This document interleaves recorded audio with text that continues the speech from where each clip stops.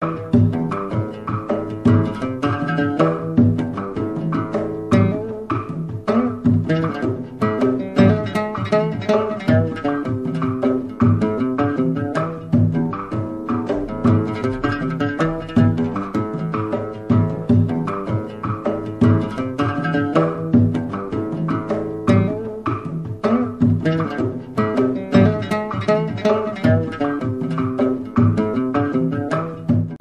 kulanti wacan daawadayaal halkani waa shabeelle t v barnaamijku waa run iyo hami. Xilligan oo kale aad ka daawataa t v-ga shabeelle.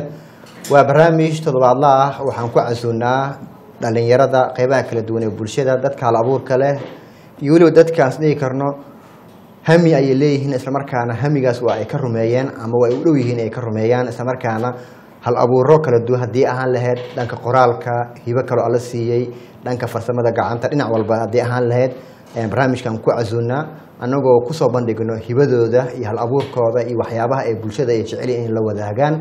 Siiba si aada waxaan diirada uga saarnaa dhanka dhalinyarada qaybahooda kala duwan rag iyo dumar.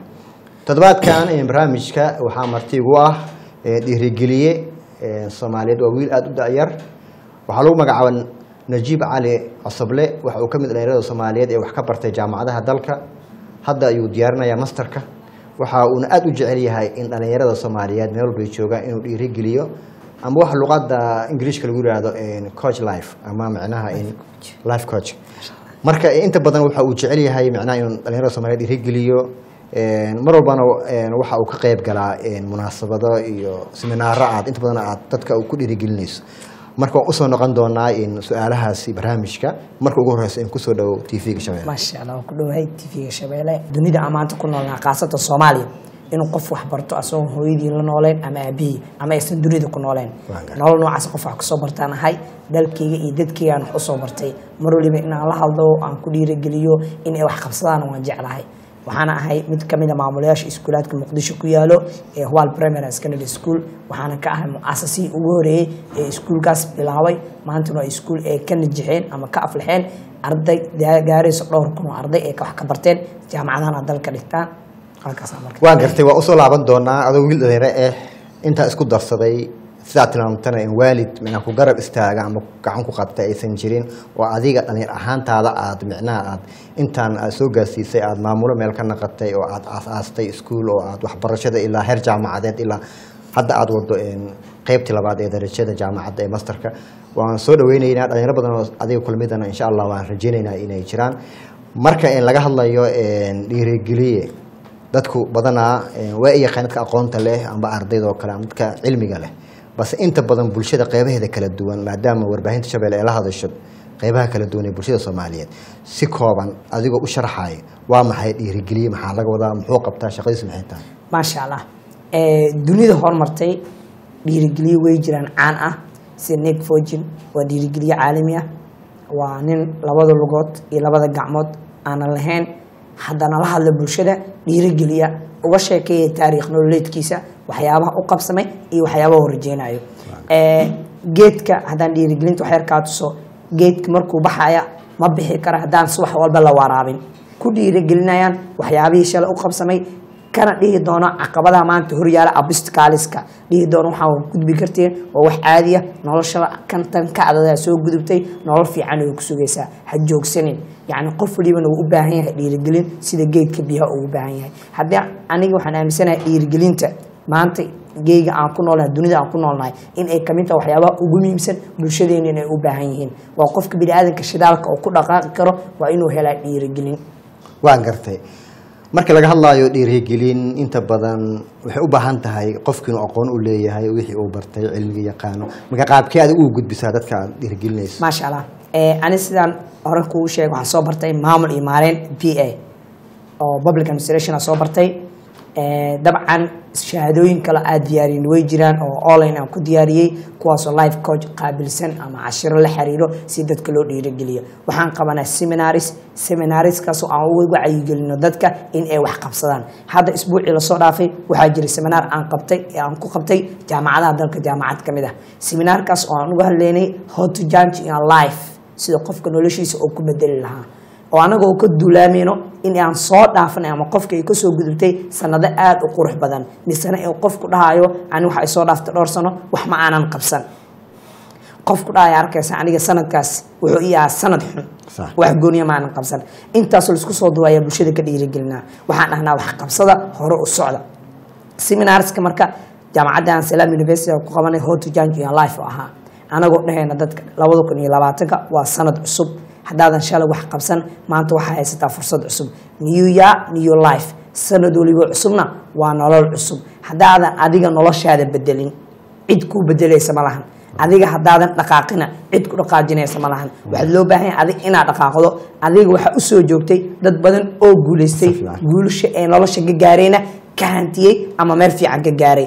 Aad u soo sacbisay aad u hambaliyeysay maanta adiga waa doorkii lagu hambaliyo lahaa doorkaaga ayaa joogtaa ma ahan inaad u nooshahay maalin weliba inaad dad u sacbiso. Waa maalintii lagu sacbi lahaa sanadka waa sanadkaagii. Wax qabso oo hurdada ka kac waan gartay. Marka Eh, taa markaa waxaa u sii tusnaa tusaalooyin ah. Sanadkan ha ku noqdo jaranjartii aad noloshaada ku horumari lahayd yuusan noqonin badiilkii aad mustaqbalkaaga ku aasi lahayd sida u noqonaya jaranjartii waa markaa wax wanaagsan samayso noloshaada horumarin fiican aad ku samayso aad is invice garayso buugaag badan aqriso wax badan aad daalacato aad noqoto qof in badan noloshiisa la doonaya jaanqaadka dunida inuu la jaanqaado. Badiil ah waxaa ugu aasi doontaa marka gurigaada jiifatid ee aadan wax baran ee hamigaaga aad ku samayso shortage. Ani kanijib ahaan maanta adiga waa indhii jebin kartaa laakiin waa hal su'aal markaa iga jawaabto. Qof waliba barnaamijkan gaari doonana ama bulshada fiirsan doonto way indhiyo jebin doonaan. Waa mid laakiin hadday mid igaga jawaabaan. Midaasoo ah kanijib ahaan waa ii jeedaa muuqaalkayga labiska aan wato. Laakiin ma dareemi kartid ma qiyaasi kartid hamiga aan leeyahay iyo meesha aan hiigsanayo sideen uga qaadanaynaa in uu naga niyo jebiyo? Ama naga dhigo qof liito qof aanan garanaynin meesha u socono hamiga aan leenahay. Waa nothing waan gartay tusaale fiican baad samaysay iyo qaabka dadka u dhiirigelisaan. Marka laga hadlayo marka talooyinka inta badan aad siiso dhalinyarada oo aad aad u xilsaarto ma dhanka waxbarashada ma dhanka horumarka ma dhanka dhaqaalaha ma dhanka nolosha caadiga bal inta badan maxaa dhalinyarada aad ugu dhiirigelisaa maasha allah niyo dhalinyarada dalkeena waxaad u malaysaa meelo badan inuu gaab ka haysto sida dhankii ee waxbarashadii gaabaa ka jiro yacni buuggii waa la wataa jaamacadihii waa la aadaa iskuulaadki waa la aadaa laakiin stiil qaar ayaa fiican qaarna buugga way ka been sheegaan qaarna way ka run sheegaan tusaale ahaan waxaa jiro gaay ama guuleed ama faarax ama cali wuxuu soo qaaday buugga buugga markuu soo qaaday guriga oo ka soo qaaday jaamacaddii ama iskuulkii meeshu wax ka baranayo geeyey buugga markuu meeshu wax ka baranayo geeyey berito cashirkii loo soo dhigay subaxii uu iskuulka u noqonayaa buuggii shalay miiska oo ka qaaday ayuu dib uga qaaday haddana cashirkii oo ku noqday. Cashirka maanta haddana soo qaaday. Berina meeshoo dhigay. Qofkaa marka waa dabcan xamaali buuggan keliya ka ergarayaa oo wuxuu ka qaadaa positionkiisa wuxuu ku soo qoraa positionkana wuu ku soo celiyaa. Oo maahan qof in badan waxaan aqriyo marka waxbarashada ma ahan in cashirka macalinka la qorto. Ee macnaheeda waxay tahay cashirka aad soo qoratay inaad dib u aqriso ee reading aad samayso. Waayo oraha inglisha waxay dhahaysaa the more you read the more you know. Aqriskaaga badan waa ogaashahaada. Haddaa in yar aqriso in yar ayaa ogaanaysaa. Laakiin in badan haddaa aqriso in badan ayaa ogaanaysaa. Tusaale kooban haddii cunug yar hooyo cashi u keento ee guriga inta u dhigta ayadoo macaan oo kaala iska araga ee ugu daboosha meel oo dhaho hadhowda waa cunaya cashadii markuu ka hurdo berito casho fiican ma noqon doonto. Xoogaa shiir baa geli doono. Dabcan buuggii macalinka cashirka kuu soo dhigay ee aad taqaani markaa iskuulkii ama jaamacaddii ka imaanaysay. Haddaadan dib u akrin wuxuu noqonayaa in daarigtii u soo shiiraya. Oo yani wuu kugu adkaanaya cashirkii waxyaabahaas lamida ayaan waxaan dhahnaa dhalinyarada joojiya oo waxaan tusaale dhahnaa war dameerka arkayso wuxuu wadaa biyo iyo coos oo ka ooman yahay oo ka baahan yahay oo ka haraahiraayo ardaygan wuxuu wadaa buug iyo qalin uu wax ku baranayo waxaan uu baranayana wuu ka baahan yahay wuu ka ooman yahay mustaqbalkiisana uu ku dhisan lahaa. Dabcan haddii aan buugga aan iska qaado iska soo qaado iskana celiyo. Dabcan wax macna ma sameynaya dameerka xamaaligii saarnaa iyo aniga isku meel ayaan imaanaynaa inkastoo bini-aadan aanan lagu masaali karin. Marka dhalinyarada waxaan dhahnaa wax wax aqriya. Dunida maanta waxaa loo baahan qof wax fiican. Waa kaa waan gartay dhanka akhriskana waa ka wacyigelinaa dhanka kale oo aad ula hadla waxaa ka mid ah dhalinyarada maadaama ani aan ahay dhalinyaro dhalinyaradan aad u jecel inay wax abuurtaan. Ani hadda iskuulkaas macadkaan wuu ii aasaasan yahay waa aasaasay. Dhowr boqol ardaya dhigato mid brevet noo jira oo doxy academy la dhahay asana oo kombiyuutarada iyo caafimaadka ee dadka bartaan oo shaqeeyo. Mar walba bulshada waxaan dhahaa war hal abuur yeesha wax aas-aasta business adi aa leedaha aas-aaso adi madax banaanaaw waayo waxaa maqlay qiso ka dhacday dalalkan nagu hareereysan ninbaa xaaskiisii ayaad ur u lahayd. Shaqana wuu jiray. Subaxii shaqadii markuu soo aadayey xaaskiisu ka soo tegey. Markuu shaqada muddo wada ayaa waxaa la war naagtii way dhali rabtaaye kaale imaw kaale qaad istaalgey managerkii oo u request garaysta waa lagu adkeeyey. Waxaa la daa baxda shaqadii toosa finish uga tahay ninkii alultimo muddo kadib wuxuu maqlay xaaskaaga cunugaada sidii ku dhinteen time wuxuu bilaabay inuu asaga wax u oo aas-aaso. Marka bulshada waxaan dhahnaa adiga maanta ha ku fakerin oo hadda dhalinyarada haddaad wacdo qof dhalinyaro aa dhahdo war kaalay war ii waran war niyo jaamacadaa dhameeyey shaqana ma lahan. War kaale ii waran jaamacadaa dhameeyey shaqo ma war ii waran niyo jaamacadda haddaa dhameeyey shaqo inaa raadsadaa rajeynaya. Ma arkaysid qof dhalinyara hadduu jirana wuu yaryaha boqolkiiba shan sideed toban meelahaasi gaarayaan in ay wax abuurtaan ku fakarayaan bulshada waxaan dhahnaa waxaa leeyihiin abuurta. Tusaale kooban waxaan dhahaa adiga waxaa u shaqaysaa company x waxaa soo saartay sagaal kun oo doolar waxaa ka qaadatay kun doolar waxaa hartay sideed kun. Shaqaalihii kaa hooseeyo dhan waxay qaateen lacag dhan laba eh, kun oo doolar lix kun oo doolar waxaa u shaqaysay the owner of that company ninkii companiga iska lahaa ayaa u shaqaysay oo stakeholderka ahaa. Adi marka wax faa'iido gooniya aad marka samaynayso malaha kunkaada baa ku qanacsan tahay. Waxaan dhahaa meesha si lagu qancin meesha waa meel liidato. Ma aha nolosha aan doonayna midaan ee nolosha aan doonayna oo noo sawiran ee visualize garaysanayno waa nolosha noo muuqato waa mustaqbalkaas dhow. Ee wax abuurta ayaan ku dhiirigeliyaa in walba qof waliyo soomaaliya haddii mar walba bulshada lagu wax lagu dhiirigeliyo in ay ayaga wax ay leeyihiin abuurtaan. Waxaa imaanaysa bulsho hor- horumartay soomaalidu waxay dhahdaa geela neefka geela shafkoo ku jiiftaa Sax. yacni markuu jiifana shafkoo ku jiiftaa raggana shinsi shinsigaasoo lagala jeeda ninka ragga wuxuu qancaa marka hore kan anaa abuuray kan anaa leh satisfaction uu dareemayaa si ay dhalinyaro u qanacdo haddii qof hal abuur sameeyana faa'iidada ka imaanaya waxay tahay job security qofka kuma fekeraya shaqo in laga diri doono dhaqaalihiisa kor u kacaa labo qofkii dhalinyaradii kaloo shaqo la'aanta ahaydna in ay shaqo abuurtaana meesha imaanayso. Wadankii dhanaa barwaaqo imaanayo wadankana wuu hormaraa dhalintu way hormarayaan dhan weliba horumar baa ka gartay. marka dhanka hal abuurka oo in wax la abuuro waan kala hadlaa oo waa ku dhiirigeliyaa anigo taariikha u soo qaadanayo dhanka waxbarashadana waa ku dhiirigeliyaa. Xitaa waxaa jirto dhalinyaro aan gacanta ku hayo waxbarashadooda oo aan aniga mar kaste fangareeyo kuwaana aan u sameeyo waayo aniga marka wax baranayey waxaan wax ku soo bartay iskuul macada ee aas-aastay maamo soomaaliyeed doctor saxaawe cabdi maxamed dhiblaawe ilaahay qiraasiyo xaggaas wax ku soo bartay iskuulkaas macada aan ku soo bartay ilaa sideedaadkeyga marka taana mas'uuliyad baa iga saaran. Shala haddii aan aan helo waxbarasho free charge ah oo lacag la'aan ah ilaa primarygeyga oo sideedaadka aan ku dhamaystay secondary ku gaaray. Waa in anigana dhalinyarada iga liidataa aad soo gacan qabtaa. Si meel fiican u soo gaaraan berina qofkan qof u soo gacan qabto. Noloshu waa step by step fida meesha maasha allah waan gartay dhinaca waxbarashada iyo dhankan kale oo hal abuurka ka hadashay. Marka inta badan ad- labadan mawduucdaan aada u sii dhex galo. Een, dhanka waxbarashada waa sheegtay arday badan oo jaamacadihii qalinjibiyo sidaa tilmaamaysay oo shaqo la'aan way jiraan suuqi iyo qaarkood ku dhahaya macnaha maadada ay baranayaan iyo shaqada ay ku shaqeynayaan ku kala duwan yihiin. Arrimahaasoo kale iyagana ma ka hadashaan oo in qofka markuu jaamacad dhiganayo waxa uu asaga oo talent u leeyahay tusaale kale qofka hadduu caafimaad uu talent u leeyahay haddii politicalkii ama siyaasaddii la baro kale waxay aada u ku dhib baneen marka taasoo kale macnaha maxaa keeni karo? Qofki yacni wuxuu bartay iyo wuxuu ku shaqeynayo si fiican. Dabcan hotore ee, taa way jirtaa oo qofku wax uu bartay inuu shaqada ku waayo way imaan kartaa. Oo waan kala hadalnaa.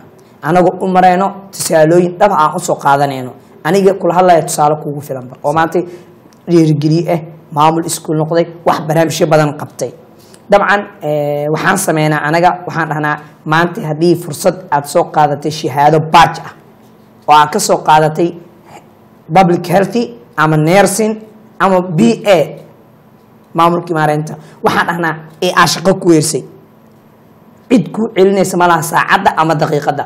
Waqtiguu kaa socda waayo lost time never gan adageen haddaad aragto shaqo shaqadaas ee aad ku soo saaran karto bariiskaaga ama mustaqbalkaaga berito wax meel uga dhigmi karo qabo ee hadhihin shaqadan iima qalanto. Anagoo tusaale u soo qaadanaya nin dalalkan dariskeena ka ah ayaa waxaan arkay arday soomaaliyeed ee dalalkan wax ka barto. Wuxuu dhahay warniyahow nin xoogaa da-diisana yartaa waa tahee maa wax baratid. Markaas wuxuu ugu jawaabay aniga wax waan baran lahaa laakiin shaqadii aawo iyo barnaamijka noocaasa markaas cunuga ra'yigiisaa la baraaweynaya saas ma aha wax waa baran kartaa. Markuu cambar la hadlay kaalay allah sanduuq meesha qashin gadaashiisa yaalaa silsilad laga furo aa waxaa looga soo bixiyey shahaadooyin badan. Waxaa la shahaadadan u jeedaa waa batch waa master. Intaasu shahaada haysta waa b h d. Aniga waxaan sugayaa inta aan fursad ka helo inta fursad ka imaaneysana macnaheeda maaha inaan meel iska fadhiyo. Ee waa inaan shaqadan soo gaaray ee aan qabtaa saa wax uga sii qabsado. Dhalinyaro marka inay wax qabsadaan ku dhiiragelinaa qofka hadduu waxa oo barto wax ka duwan uu shaqo ku helo oo markaasna khibradeeda leeyahay inuu qabto way fiican tahay. Laakiin waxaa dhibaataa qofku waxa uu bartay wax ka duwan oo aqoon u lahayn markuu ku dhaqaaqo ayaa feedback kaga imaanaya wuxuu noqonaya mid xun aada u xun. Oo bulshadana dhibaato ku ah asna dhibaato ku ah. Waan gartay. Haddii aan yaro kula kaftama inta badan ee dhalinyarada waxbarata jaamacadaha aad waxay u bartaa maadadan biyo eeda oo hataa heer waxay gaartay dadka qaarkood in ka xishooda inay ku dhawaaqaan ereygaas. Marka maxaa keenay in dhalinyarada xilligan ay aad u bartaan arrimahaas biyo eeda soo maadooyin kale wadanka faa'iido u leh way jirtaa. Qudhaada waxaa baratay biyo eedaa baratay. Marka maxaa dhalinyarada soomaaliyeed aad micnaha u maasha allah. mashquulaan barashada Eh, kanijib ahaan marka hore haddaad taariikhdeeda wax yar aad dib kaaga taabto. Eh, jaamacadda markaa iskuulka markaan dhameeyey jaamacadda aan ku biiray b a iskama diiwaan gelin waxaan iska diiwaan geliyey lab technician. Waan garan waayey ciddaan ahay. Waxaan waayey qof i tusaaleeyo wax iga baro qofka aan ahay ama ii qabto seminaris seminariskaasoo aan ku ogaan karo waxa aan baran karo iyo waxaan ku fiicanahay marka eh, xoogaa wadanka horumarka hadda waxbarashada la sameynaayo iyo hiigsigan saaidka ufurmoosan jirin oo wax walba waxay ahaayeen curdun. Eh, markaa jaamacadda tegey laab ayaan doortay. Markaa laab doortay semester one ilaa semester five baan baranaya laab jaamacad yaa bedeshay jaamacad kale war cilada ila jaamacadaha ma ahan waa aniga. Markii dambe laabkii iska xiray. Maamul iyo maareynaa bilaawa b a. Kadibna waxyaabo badana ii furdaamay oo ii fududaaya alxamdulilah marka qofki aniga markaa xaruntan oo yani aan aasaasayay waxyaabaha ku asaasatana kow ka ahayd hotoraan ka hilmaamay. Oo ahayd in aniga aan seminaris aanan helin aan diiday in arday iga dambeeyo laba sano ka khasaarto. Ee aan ardayda seminaris siday kuliyadda u dooran lahaayeen siday itixaamaadka u diyaari lahaayeen iyo waxyaabo kaloo mustaqbalkooda anfacaya u qabanaa taada haddaa u soo noqdo marka.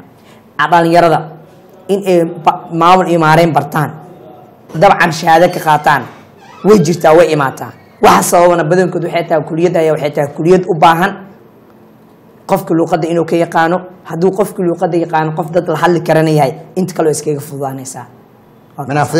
Fudeedkaasna u raacaan. Laba waxaa kale kuliyadda u raacaan oo muhiimadda meesha taalo tahay. Qofka haddii uu yani wax badan darso wax badan yani kuliyaddan ka darso kuliyadda waxay tahay kuliyadda jaanisyo badan. Oo wadankiia u baahanba. Qof daacada dhalinyaro ah. Dalka iyo dadka iyo diinta inuu doonayo Sax. dalkiyaa u baahan stiil oo meeshii rabay imaysan gaarin. Marka taas jaanisadeedana aad u fara badan yihiin kuliyadda oo waa wadankeena maanta wuxuu u baahan yahay dad maamulka aad wax uga yaqaano.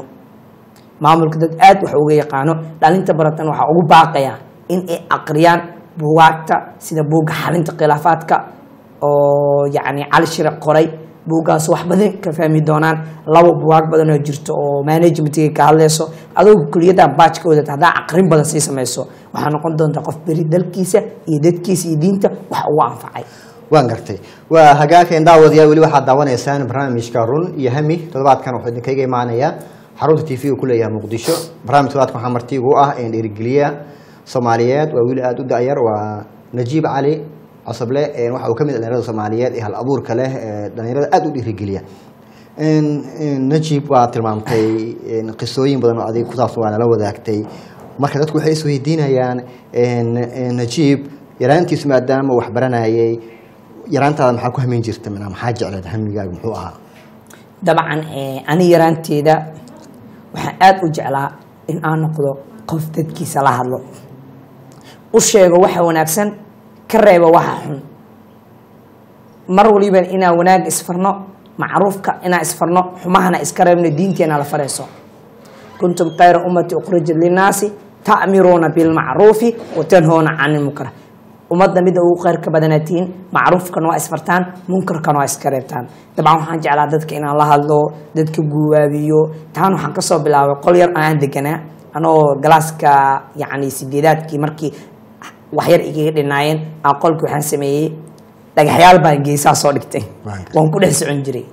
Muddo kadib markaa dhagaxyaasha ku dhex socday kadib waxaan bilaabay inaan sameeyo dhalinyar ciyaal yara oo meesha joogay. Inaan maamadii lacag ka soo qaado habeertii markaas soo korisay nolosheeda gacanta ku haysay. Aan dhaho buwaag baan soo gadaya ciyaalka u qeybiyo ee meesha baatacjacdi ku baro. Walaahi ardadii xagga qolkaas ka soo baxday. Maanta qaar ka mid a jaamacaday dhigtaan.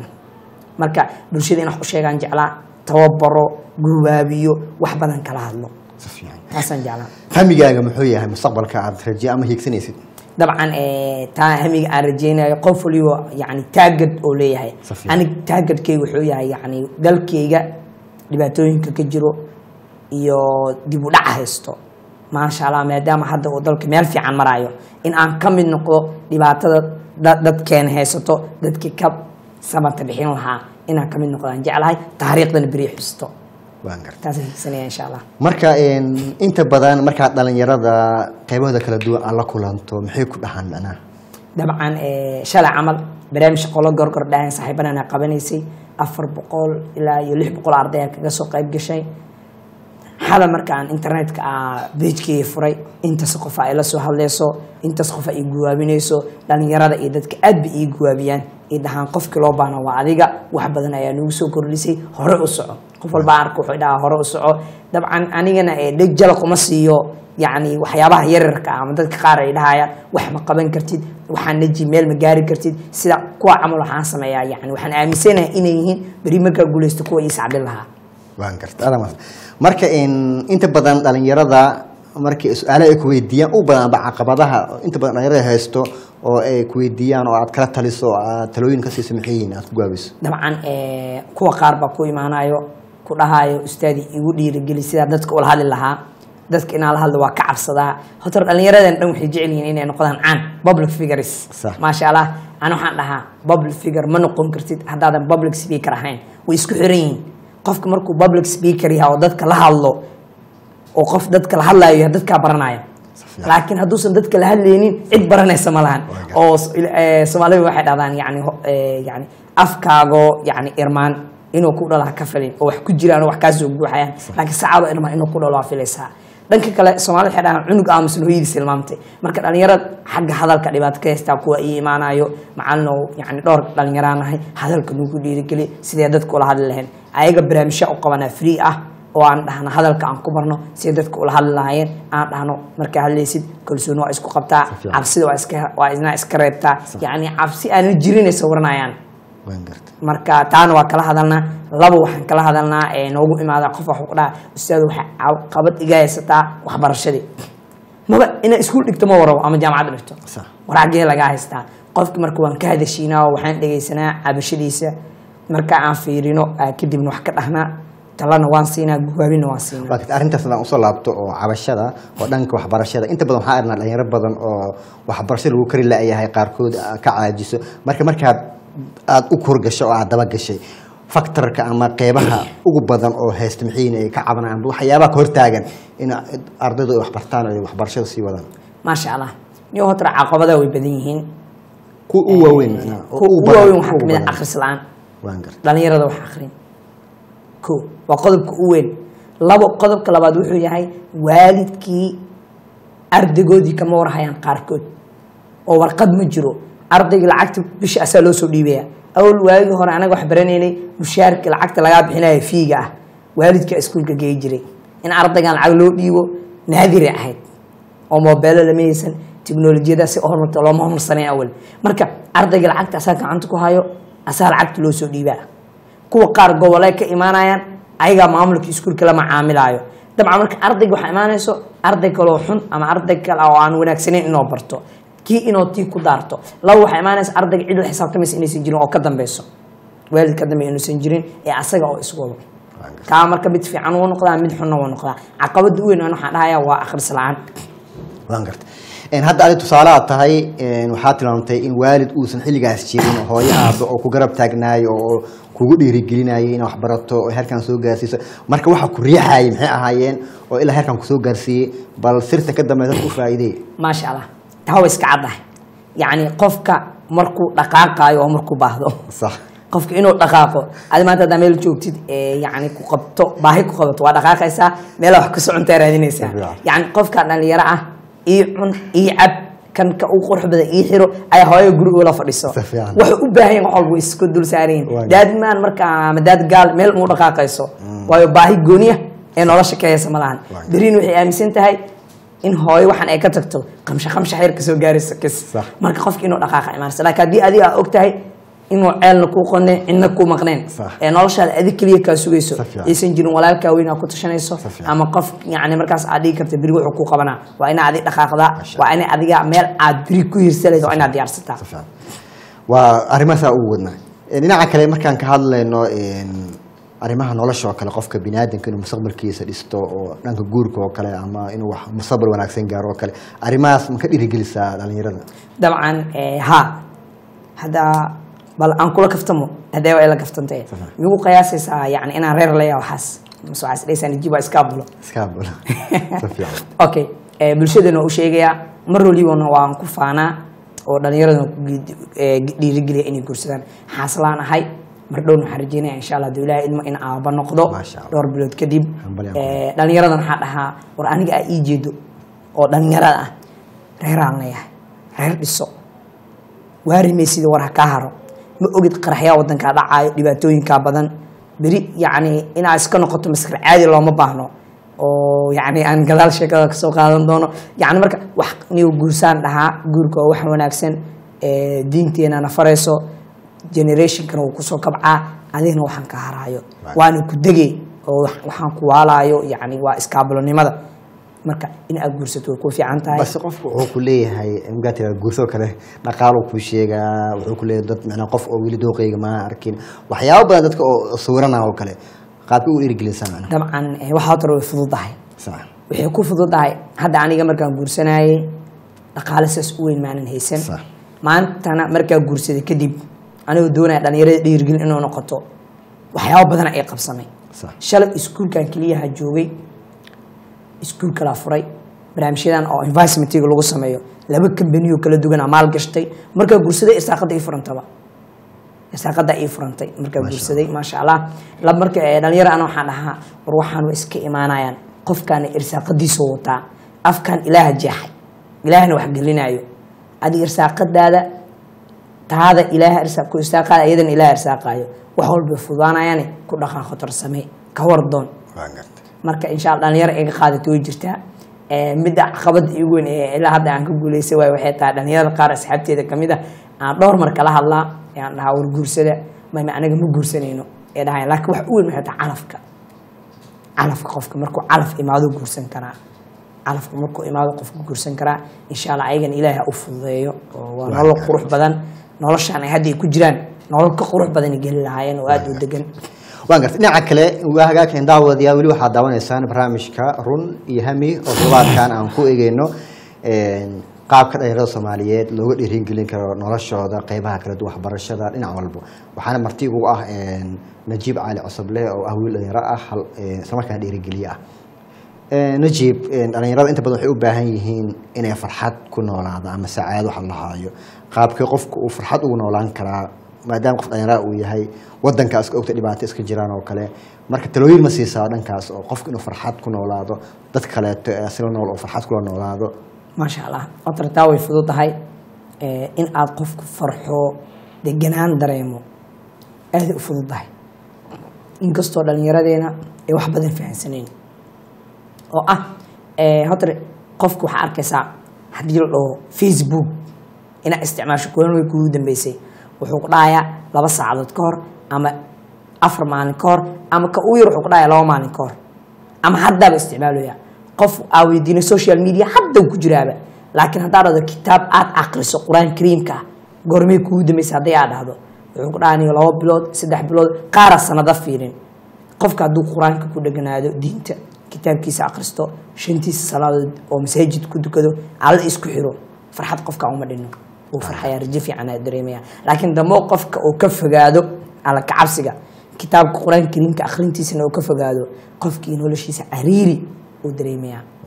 Cariiri uu dareemaya. Waayo mar walba waxaa fiican inaa ilaahay isku xirto haddii aad rabto inaad guuleysato haddii aad rabto inaad guuleysato waa inaa alle ku gartay.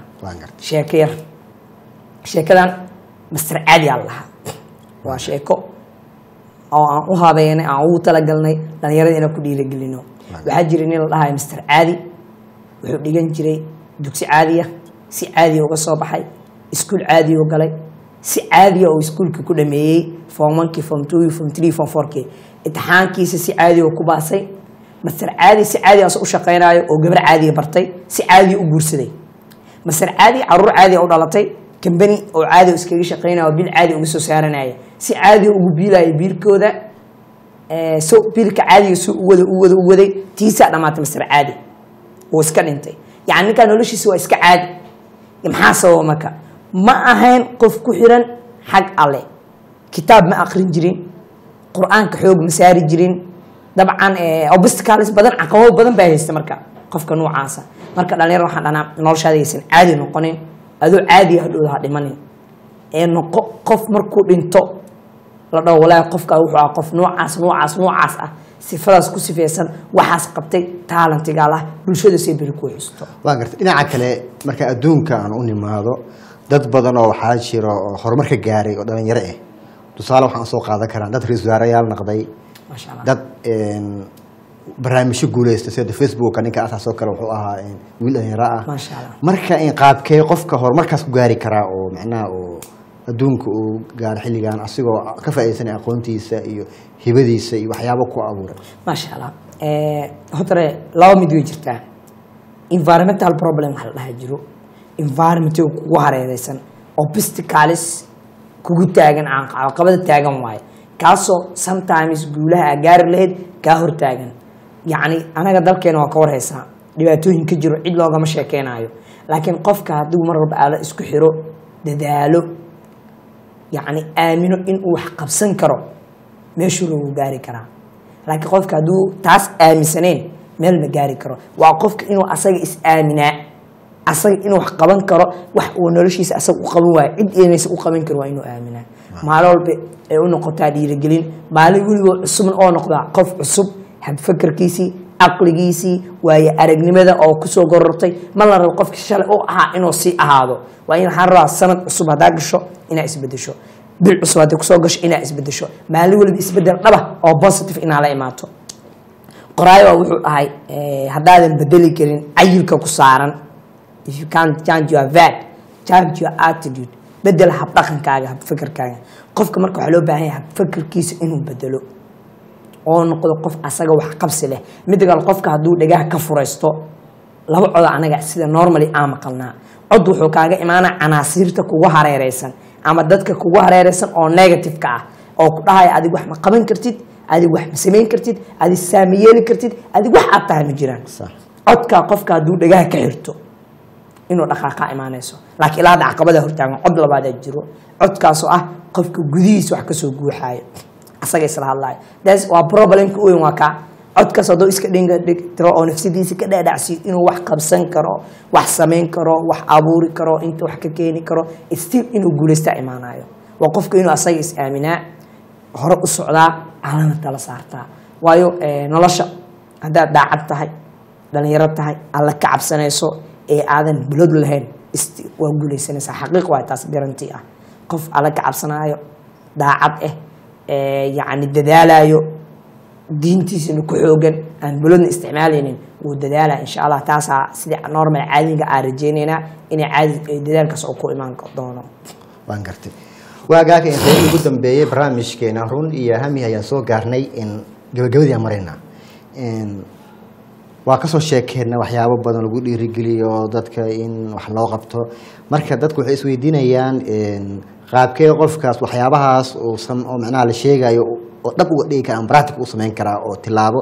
Aad dhigi kartaa micnaha qofka subax markuu soo kaco qaabkaas ha u- ha u- ha u sameeyo waqtigiis qaabka ugu faa'iidaysto noloshaas qaabkaas ha u wajaho caqabaad qaabkaas ha u imaado adoo tusaalooyin u soo qaadana. Maasha allah. Gabagabada Eh, qofka waxaa loo baahan yahay horta inuu sameysto schedule ama timetable.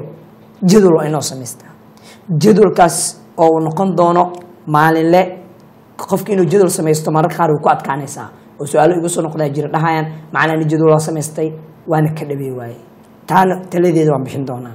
Qofka jadwalka markuu samaysto oo sadgaraysto waxaa loo baahan yahay inuu fuliyo tane inuu jadwalka huwa maalina samaysto. Jadwalka maalinlaha markuu maro maalinta kale maalinta kale isbuucii oo dhamaystirmaayo isbuuc inuu ka baxo isbuuc kala sameeyo. Schedule qofka uu degsaday hadduu bilo yahay hadduu yani maalin la yahay. Waxaa fiican inuu ka dhabeyntiisa ka soo baxo. Hadda tusaale ahaan ani hadda marka inta maanta waa ballansaneen inaan inta imaado. Jadwalkayga way igu jirta maanta inaan adig kula kulmo barnaamijkan aad igu wareysato. Waxaa jira dad kale oo ay soo waceen ay dhaheen waqtigaa najiyo inaan kula kulano aan u baahananay oo barnaamijyo aan ugu nagala qayb qaadato kuwaasoo ani aan ku dhahay yani eh, way igu adag tahay inaan is aragno oo balantiina balanaa ka horeysay jadwala ii degsan. Hadduu qofka jadwal degsado waxaa loo baahan yahay jadwalkiisa inuusan wax kale soo dhexgelin ilaa ay xaalad adag inay imaato.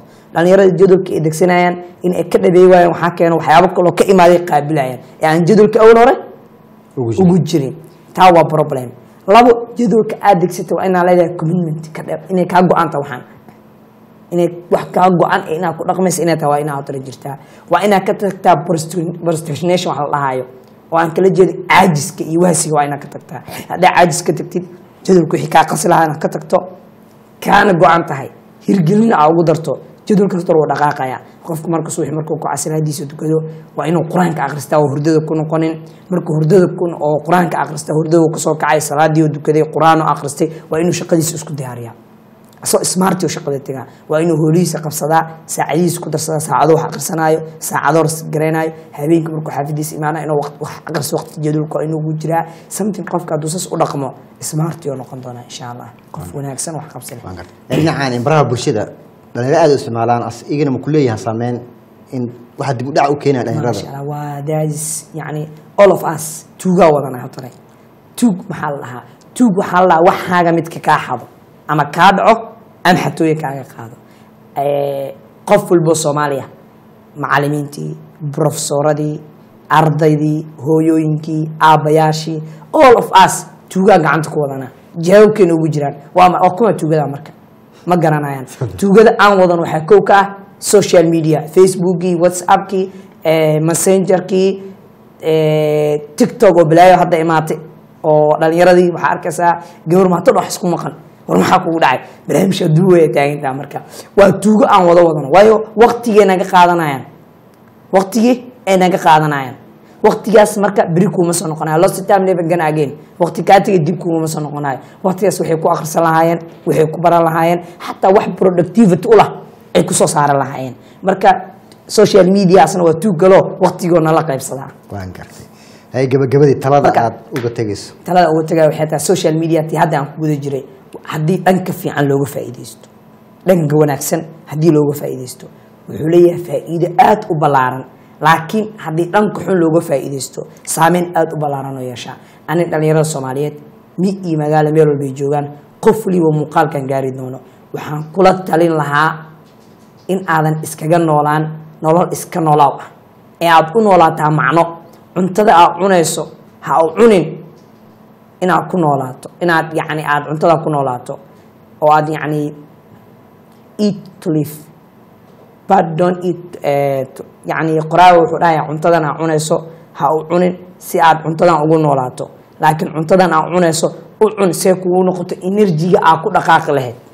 Oo aad ka hesho tamar iyo energy iyo xoog ku dhaqaajiyo. Marka waxaan kula tartaami lahaa dhalinyarada soomaaliyeed inaysan u noolaan si aan yani iska caadiya oo waxqabad la'aan aysan noqon. Ee noqdaan dad wax qabsan karo yani diintooda ku dhegan alle ka baqaayo mar waliba ee jooga soo toosaan wax dantooda ah qaabilo. Wax aan dan ugu jirina ka dheeraado. Mar waliba noqdaan dad yani dantooda xooga saaro. Waxyaabaha macno darada ah oo social media kowka yaha dhanka xun looga faa'iidaysanayo.